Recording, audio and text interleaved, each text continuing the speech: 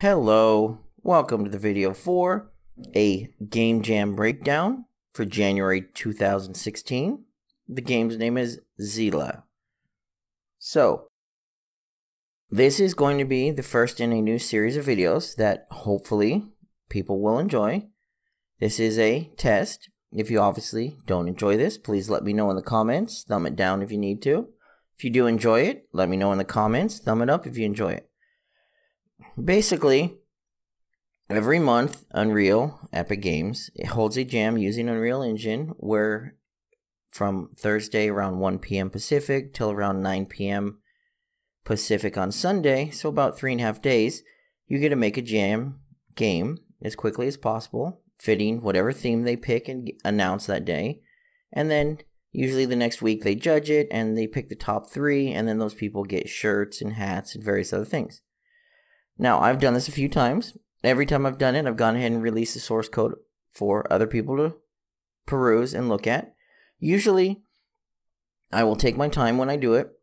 I'll make sure blueprint nodes are lined up and the connecting execute wires are lined up. I'll comment things as needed. And I'm, because once it's done, I might give it another half a day of polish, fix any bugs I find after release, and then release into the wild so that way people can learn from it. Now, one of the things that I'm going to do different this time is I did not work on the last day. I worked only up through Saturday. I did not take a lot of time in cleaning the code. I didn't take a lot of time of tweaking things. Basically, my goal was to jump in from literally a blank project, create everything I wanted, figure things out as I went along, I left in any problems. I left in bad spaghetti code, and I didn't comment most of the things unless I needed to because I forgot what I was doing. And what I'm going to do for these videos is I'm now going to break down from start to finish throughout the process over multiple videos. I'm going to try to keep each video around half an hour or so and release them daily until I'm done. And I'm going to cover how I did everything from the start to the end, like I said, and we're going to go over the code. I'm going to clean up the code while I'm going over it and discuss what I did, add in the comments, point out any bugs or problems I had, fix any issues I have, maybe add in new things. For example, I wanted to add in a soundtrack, but I didn't get have a chance for it. That was one of the things that was mentioned during the live stream playthrough. So more than likely I'll take the music track that I created for the game and introduce it into the game itself, and then pop the code in and show you how I would do that as well. So let's go ahead and let's get started. So this is the game right here. And the is called Xela. Basically, how it came to be, the theme for the game jam is don't push the button. So, of course, I thought of some different crappy ideas.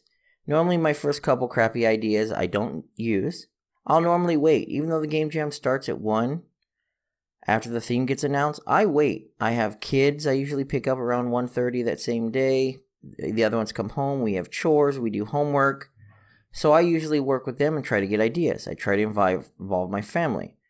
So this one came about when my son Alex, which if you read the name of the game is Alex backwards, came up with the idea for the game what when I asked told him what the theme was, he said, "Well, what if the button eats people or sets people on fire?" So that got me into the idea. Well, the button can be the protagonist. So that got me thinking some more, and basically, this is the game we came up with. Now, there may be audio. I don't know if it's going to be too loud or not. If it is, you can, of course, turn it down, but I think it's okay. I'm just going to go through the intro, show the basics of the game, and then we'll get right into coding and from there. I've been waiting all day. Where's your manager? I need help. Hurry up! I've been I need waiting customer an hour. service. This is boring. This is taking so long. This sucks. Hurry up! Ow. It's crowded. I've Stop been pushing all me. day. Where's your manager? I need help. Stop Hurry it. up! I've been I need waiting customer an hour. service. Stop This is pushing boring. This is taking so long. This sucks. Hurry I'm up. not It's gonna crowded. get pushed around no more. Ow. Okay? If you want customer service, if you can't wait, fine. I'll give it to you now. Okay, so you'll notice when we start on the right hand side, I have the controls. And after Bing five seconds, bong. those disappear. Bing bong. Customers need assistance on floor one. And then we have some people over here I can run into, ah. and it will destroy them, leave, de- leave decals on the ground. Bing bong. And based on my spawn Bing manager, bong. you Customers get a need notification that assistance you can on hear a floor little bing bong sound. And then it Bing lets us bong. people. Now I Bing also have a bong. targeting reticle where I Customers can need shoot laser assistance beams. on floor two. And you'll notice when ah. we get near, when we're within firing range, the targeting reticle will turn red. That'll ah. indicate we have a good clean shot. Now this will continue on. There are six waves Bing of varying bong. different Bing bong. enemies. Customers need enemies. Assistance on floors floor they spawn three. from based on the spawn manager. Bing bong. Bing on the left bong. side, Customers need assistance on floor how many three. people are spawned and how many we've destroyed Bing and how many people have gotten away. Bing bong. And then on the right is a little countdown timer, on floor which is a little multiplier bonus. As long as you destroy someone within five seconds, your bonus will continue Ah! and it will count up continually. And one of the nice little features I put in because I thought it was pretty cool. Bing bong. playing Diablo 3 Bing a lot lately. bong. Customers the numbers will get larger on depending on the side one and two. multiplier. Ah! So as you can see, it's Ah. six semi larger, and then of course when my timer goes down, it'll drop down to a smaller font size. Bing bong. keep score at the top of the Bing screen. bong. Once it's over, you go ahead and you get a game over screen, which is a customer survey results, and it puts it onto your screen. So let's go ahead and get started because that's a lot of stuff there, but obviously we did not start with anything. So when I started this project, my one of my goals, because one of the streams I wanted to do a tutorial for is how to do a player controller from scratch. Someone mentioned in their college course or their learning course for Unreal Engine that they weren't allowed to use the default first person, third person controller. They had to create their own input system, and their own controller from scratch. Now, I decided, okay, well, I will do a video on that and I'll learn how to do that. So, to start off with, I made a new project, used nothing, just a straight blueprint project, and then I loaded up first thing I normally do, which is a test map. It's just our normal first screen with nothing in it but our player character. The goal here is to try to get a basic layout or get our character inside and figure out what we're going to do. Now, one of the driving forces on this game was I wanted to do this for the tutorial, so I wanted to keep it as rough as possible, but still fully polished and playable, a completed game. I also decided, since this is a jam game and I wasn't going to use Sunday, I was going to limit myself.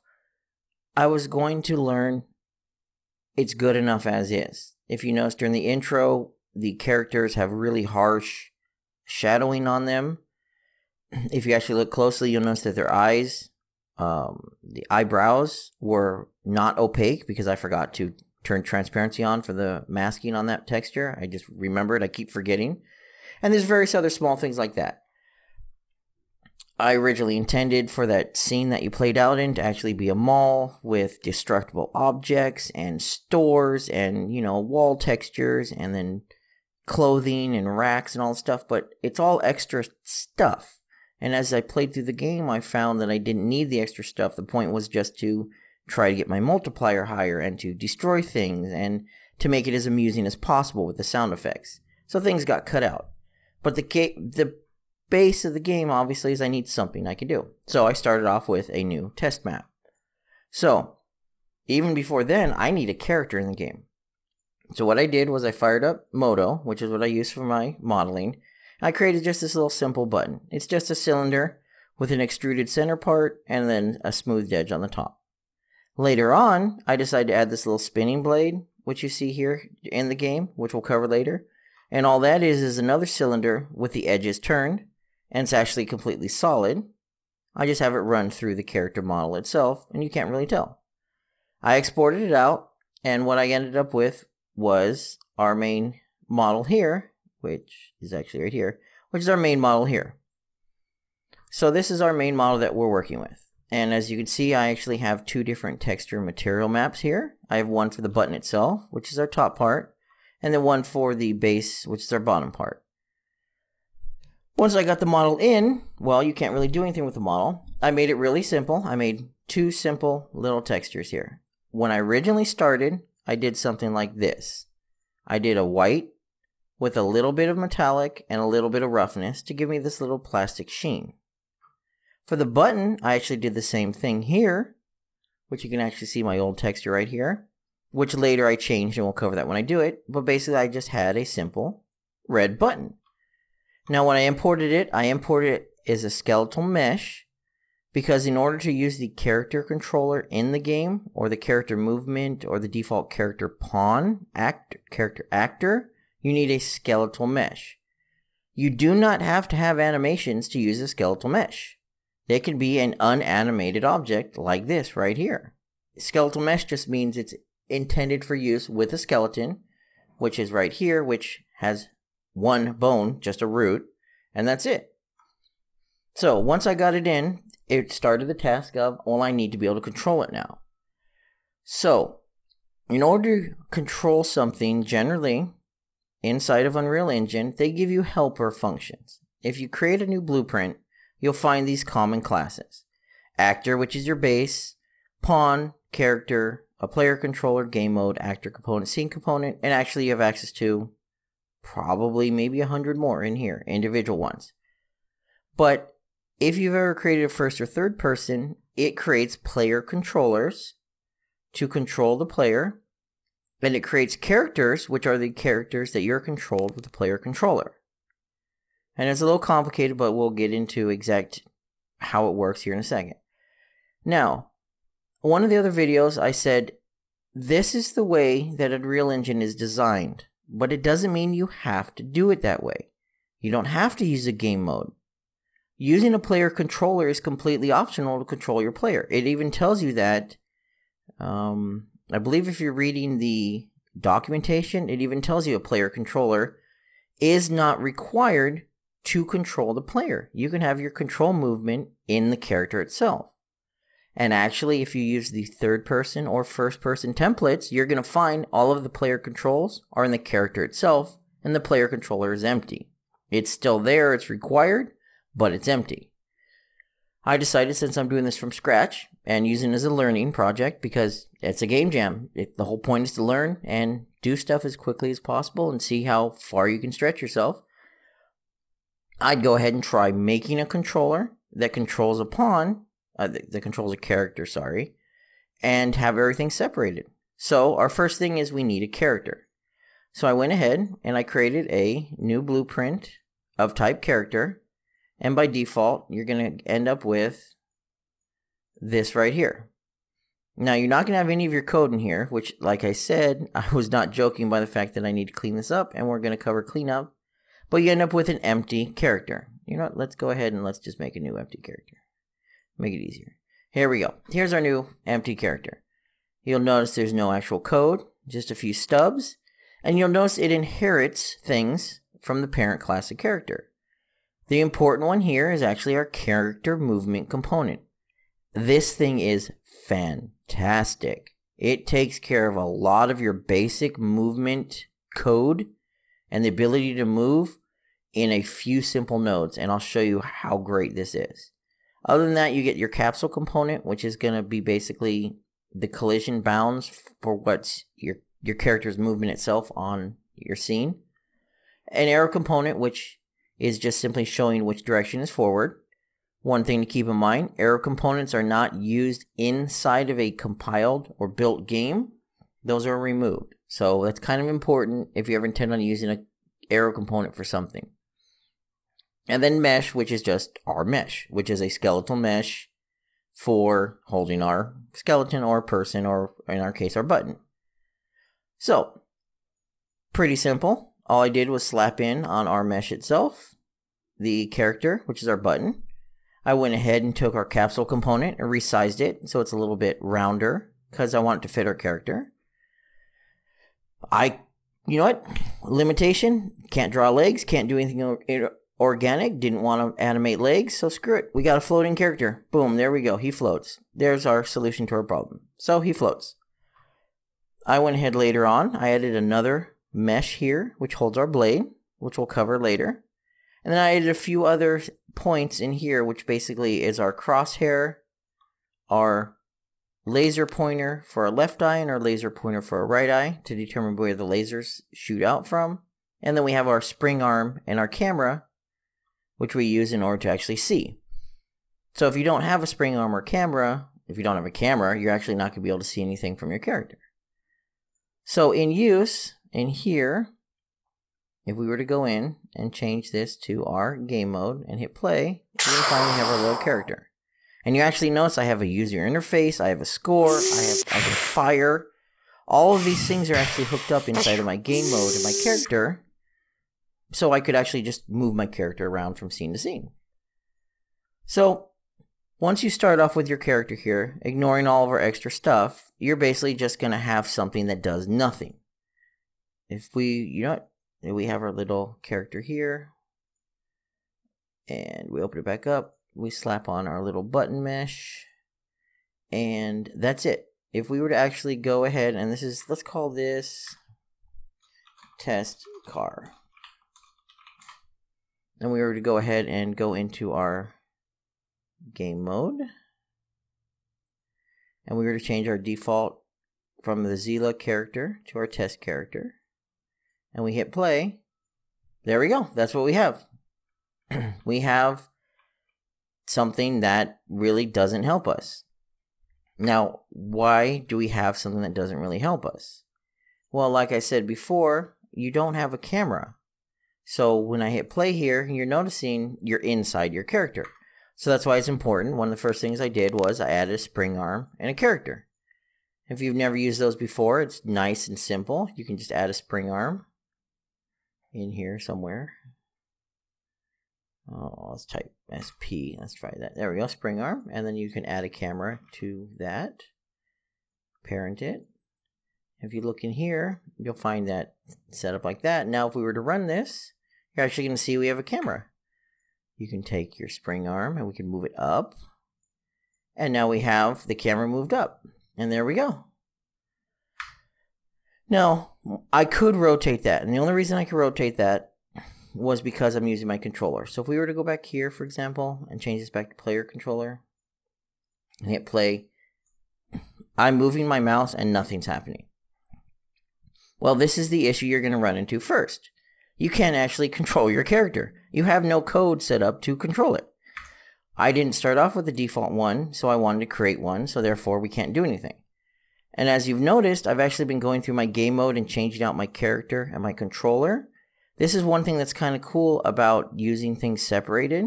If you're noticing here, I have a spectator controller and I have a game state. When you start separating things, I could, for example, let's say I have a controller set up for maybe a first person using WASD to move and maybe the mouse to look and fire. But then I wanted to switch maybe to a top down RTS isometric and I didn't want to use WASD. Maybe I wanted to use just the mouse to move. Well, if it's inside your character for the movement code, you might have to branch back and forth, ifs and ands and things like that. But if you actually have it in the controller, you can just swap the controller out on your character and be able to change how your character is controlled just by swapping out your controller. And the other nice thing is, and this is something that's important, and one of the reasons why I decided to do this, I didn't use it in the game, but it's forward thinking. When a character is destroyed, for example, my character explodes and he dies, if we had a, a lose condition, anything on that character is gone. So if I had any points on the character, it's gone. Any controls on the character are gone. The controller does not get destroyed. That is basically attached to you, your input. So if you have multiple people, each person would have their own controller. So you can use that controller to stay persistent between each and every pawn they may control so maybe if you want to jump in and out of different pawns, different, you know, you have four different characters you control, you would have one player controller, and then you could jump in and out of the pawns without having to worry about redoing your controls and remapping controls and stuff like that. So by keeping things segregated and separated, we can easily adapt our program later. So here's our test character. We run it. We can't do anything. So let me go ahead and go back to our character that we have set up. And you'll notice in here, I don't have any controls because I told you I kept things separate. So I created a controller, which as you'll notice is not commented. I actually have two sections commented here already. Our mouse look and our keyboard movement, which is what we're going to cover right now. So the easiest one to do here, if we look at in terms of nodes, is our mouse look. And this one's pretty simple. We basically are getting our pawn, which is the target of our controller. We're basically getting our controller. So um, this is our controller, our Xela controller. Our Xela controller is attached to a pawn. So based on our game mode, which of course I closed down, let's go ahead and set this back. We have our Xela character. And controlling our Xela character is our Zila controller.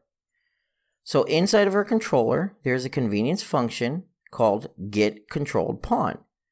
Basically, it automatically tells us which pawn we're controlling.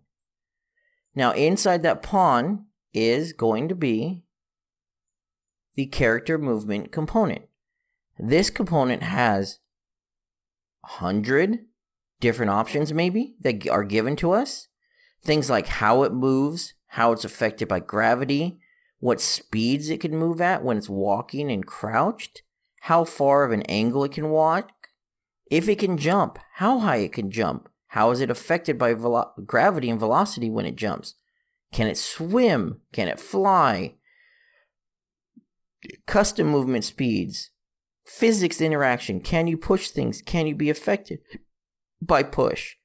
Character movement. These are how artificial intelligence works when you're using a nav mesh. Movement capabilities. If it's a using a nav mesh, how high can it walk? Can it crouch? Can it jump? The different AI features if it's supposed to be using AI, velocity, which is a readable setting based on its movement. Planar movement. Do you want to constrict it to a plane? Do you want to make it where it can only, for example, go forward and backwards and not left and right? So, character movement gives us this giant list of options, and it gives us a bunch of convenience nodes like add controller pitch and add controller yaw. Yaw, not yawn. There's also add controller roll, uh, if I pull it off of here, add controller roll input.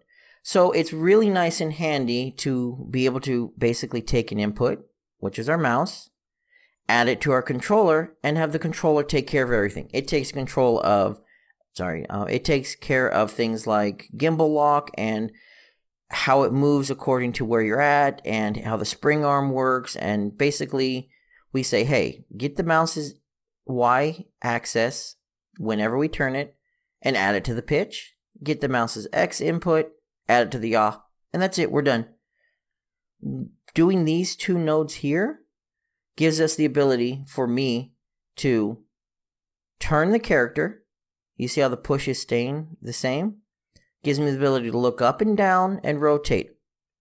All with that basically those two nodes. Now, how it's working is it's taking the input axis and adding that into the pitch or the yaw. Now, you may be, here's an issue you're going to run into if you create a brand new project. These things are not defined. If we go back here, like I said, this is going to be a lot of stuff over a lot of videos because there's actually a lot of work that goes into setting up your project to get it up and running. This is one of those things. In your project settings, you have an input section. By default, this is empty if you create a blank project. If you're creating a first person or third person project, Unreal automatically takes care of all this for you, and it takes care of all this controller stuff that we're doing. They give you a ton of stuff just to be nice. So what we did is I set up axes and actions. Axis axis move axis mapping or axis movement is basically like you have your gamepad or your joystick. Left and right, up and down would be an axis. So left and right would be a horizontal, up and down would be a vertical.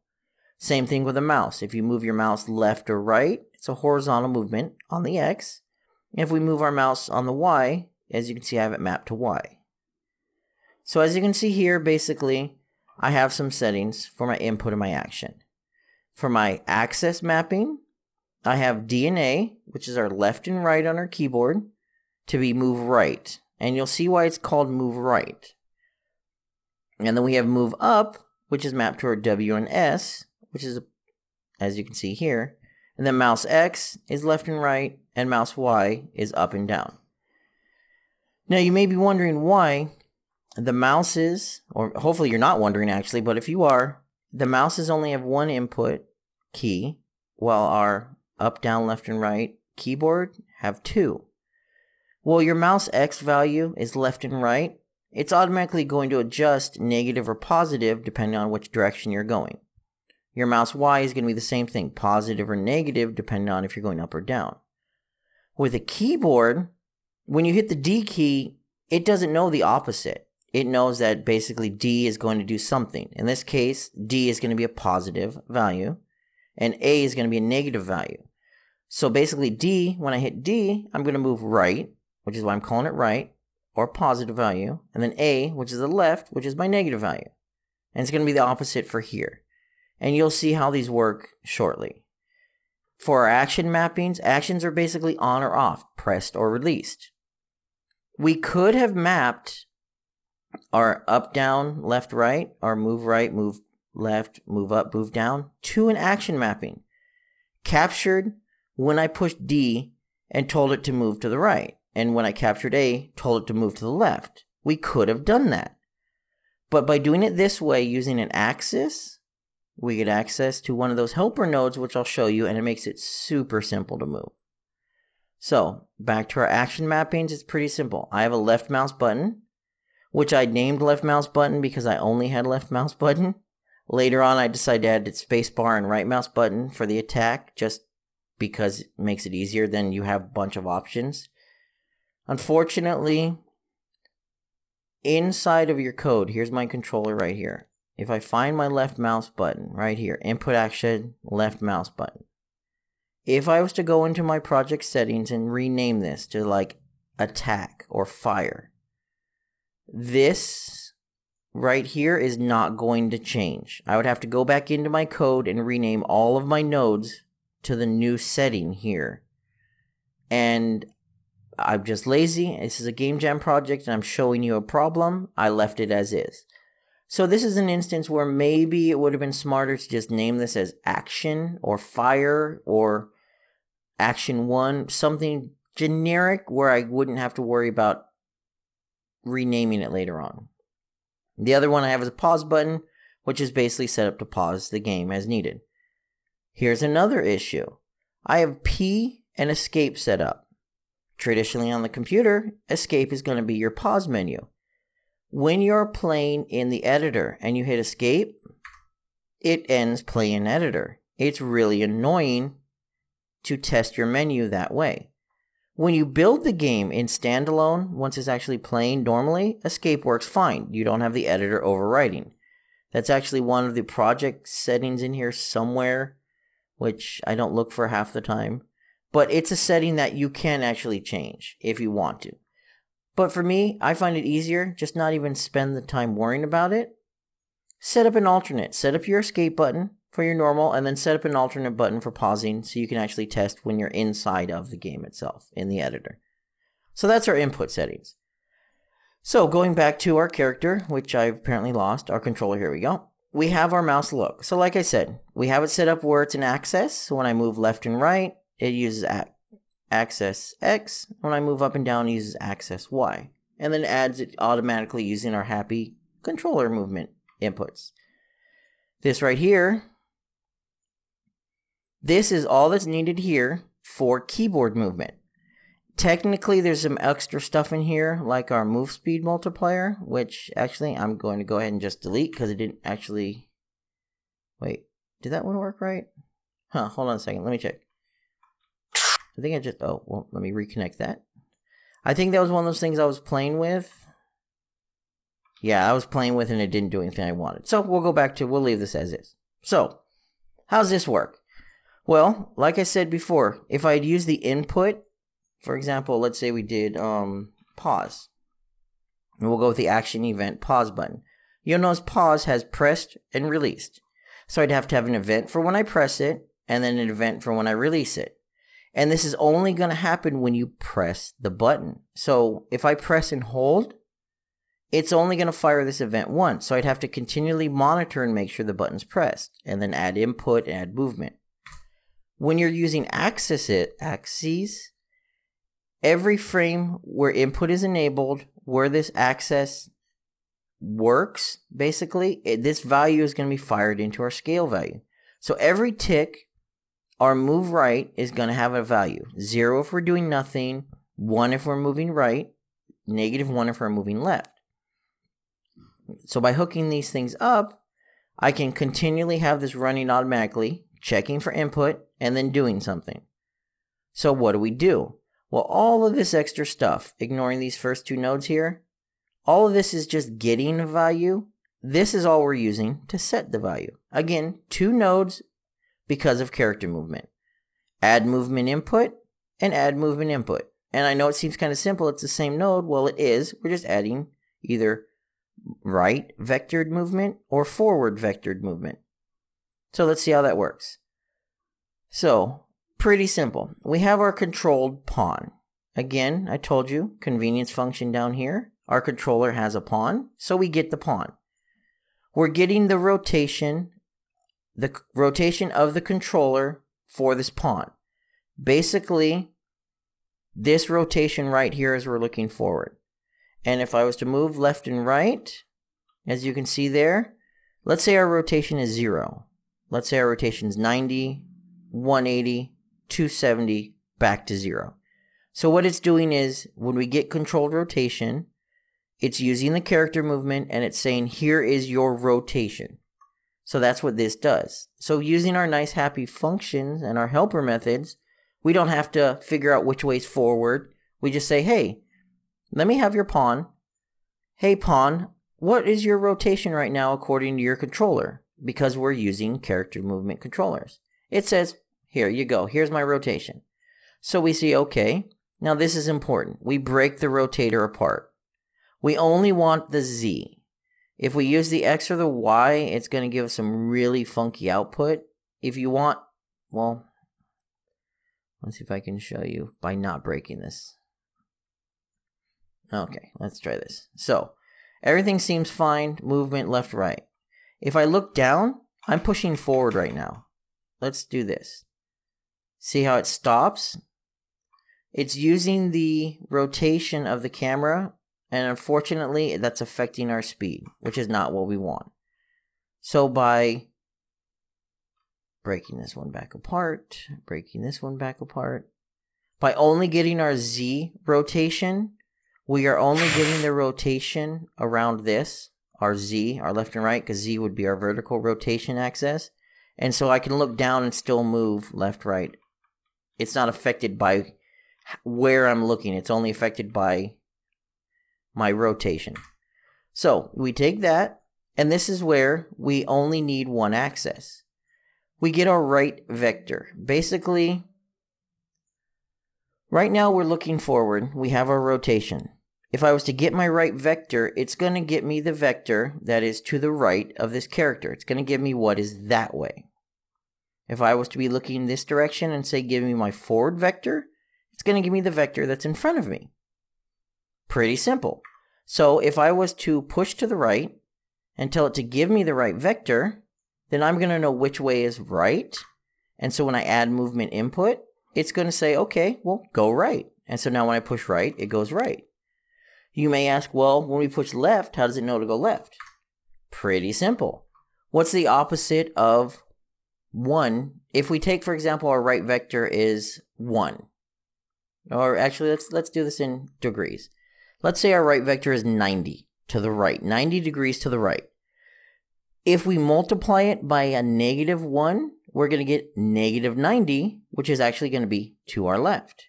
Same thing with forward. Let's say forward is going to be 0. Now, in terms of vector and forward and vectors and things like that, you it's not 0, 90, but just for example purposes, let's say forward is going to be our positive forward vector. If we multiply it by negative 1, we're going to get the opposite, which is behind us. So that's why when we tell it to move right, and we are pushing right, according to here, our move right, according to here, we're going to get a scale of 1 or a positive value. And it's going to move to the right. When we push to the left, we're going to get a negative 1 scale. So it's going to be the opposite of right, which is going to be left. So that's why if you've ever been curious on why there's only a right and a forward vector for most things, or there's only a right instead of a right and left, or a forward instead of a forward and a back, you can get the opposite just by multiplying it by a negative 1. So instead of adding extra fluff, they allow you to just simply multiply it and figure it out on your own. You'll find most engines do that when it works with controls. So that's it. That is how our movement works on the keyboard using the character component using the add movement input nodes. And that's it. It's honestly simple as that. Now I should clean this up a little bit and reorganize it, but you know, it's it's not horrible right now. It's readable, I hope. Go from here, go here, here. But that's our keyboard keyboard movement. And this is our mouse movement. Now, it took me 35 minutes at this point in time to discuss everything, but what I've done so far in this 30 minutes, even with discussing, is I've created a new project I brought in my character. I've created a character blueprint that holds my character. I've hooked up, I've made a controller that controls my character. And in theory, ignoring the user interface, you could now move around and you can aim and look around. Now, all this extra stuff, the user interface components are things that we'll work on next and will be covered in a f- later video. But the first thing to start with is you need to be able to do something, and that's what I did. So right there is how you, I created a character controller from scratch and a character blueprint from scratch and hooked everything up. Now, if you're actually trying to do this and you're having a problem, it may be because you haven't told the game to use any of this. If you've noticed, I've jumped back and forth a few times to my game mode. I've done a video on game mode, but a game mode is basically your parent, your person in charge, and it tells the engine all of the individual components. It tells you our default pawn, default HUD, default controller, blah, blah, blah, blah, blah. Every one of your levels, if we went to our world setting, has a game mode. If I was to not override this right here, and hit play, it's going to use my default controller. Every single one of these worlds can have their own controller. If you go into your project settings and go into your modes, you'll find my default game mode is set to my Xela game mode. Game modes are really simple. I've covered it before, but basically I just created a new blueprint class of game mode opened it up and told it, okay, I want to use my new character I just made, and I want to use the new controller I just made. Once you've done that, and once you've gone ahead and you've set up it to use your default game mode, that's all you have to do. Now, every map you load in this game, every character you load up in this game, all of these default players, any player you dropped into the game, any of your AI, here's the fun part any of your AI you drop in, if you don't assign them a controller, are automatically going to use these as your default.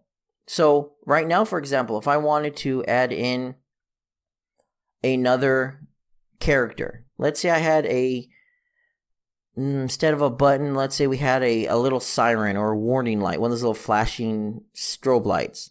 I could make another character, give it its mesh, go ahead and hit play, and that character is actually going to, like, for example, here's my test character right here, which I created in here. There's no code in here, and there's no extra stuff added in here. If I was to tell the game, like, let's say, for example, you know, let's just, oh, let's go to Izila and let's override. Let's say our default pawn is going to be our test character, and I hit play.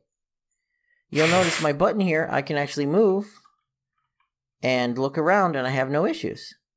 Technically, I have one issue, which I'll cover in a second, but I'm using my controller to control a brand new character without having to set up that character's movement because I have a universal controller. Now, just to finish this and wrap this up, because I said I'd discuss bugs and things like that, there's a really annoying feature in the character movement. It's not in the character movement, sorry. It's in the spring arm itself. It's this right here. Use pawn control rotation because we are using in our controller the uh, where is it? Right here. The character movement to move. Because we're using, where did it go? Right here. The controller pitch and yaw, the controller's rotation. What we need to do inside of any character that has a spring arm is you need to tell it to use the pawn control rotation. So if you're using a spring arm and you're using controller input, if this is not checked, you'll run into that issue here where I can't look. I'm not rotating around. I'm basically using the mouse right now to turn left and right because I'm telling it to turn the pawn and not the controller. When I use this and I hit play, now I'm rotating the camera. I'm rotating the spring arm and I can rotate around my character like we want. So that's one of those things that has to be done if you're going to use the controller input. Now, after 40 minutes of jabbering on and discussing all of this, I'm going to go back to one of the things I said before. This is just one way of doing this. This was me using the character movement component on a character actor using the built in handy character movement and controller nodes. All of these are completely optional. You don't have to do that. You could create a blank actor and you could control it with your own input. You could do everything by hand without using a controller capsule. And you'll find a lot of people do that when they want to do custom things. But when we've got two days to make a game, we just slap this stuff together and we get stuff working. That was the whole point of this. So, yeah, let me go back and turn this back on. And basically, at the end of about an hour or so of me playing around, I was able to get a character that I could actually move inside my little test map. We don't have anything to do, but at least we have movement, and that's always fun. So, this is going to wrap up our first video because we're looking at about 40 minutes now.